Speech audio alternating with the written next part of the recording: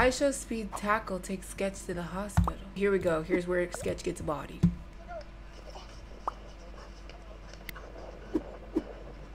Yo!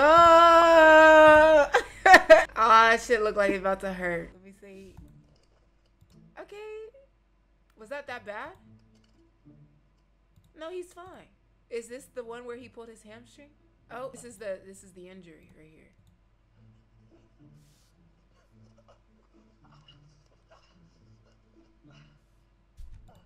Okay, he didn't get injured.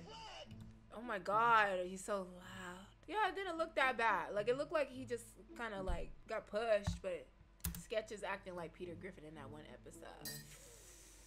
Ah, head ass.